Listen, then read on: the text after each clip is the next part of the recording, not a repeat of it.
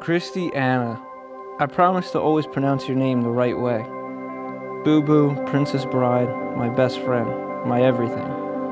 I think about the way you look at me, and the man I see in your eyes by the way you look at me. And that's the man that I always want to be for you. Michael Anthony.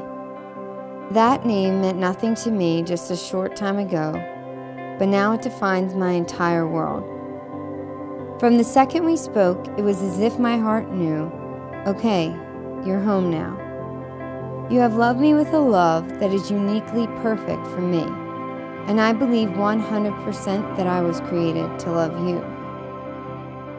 You're a woman of grace, passion, and integrity that literally lights up a room. I love your laugh, I love your smile, and a simple phone call from you just to say hi can completely change my day even if it's 32 calls in one workday. Today I know that you are everything I never knew I needed. You make me laugh and smile at exactly the right time. You encourage me when I'm down. You love me unconditionally. You bring a calmness to my heart. I promise to protect your heart and never give you reason to doubt my love. And I promise to order my own food so I don't eat half of yours every time. I promise to stand beside you always, no matter what.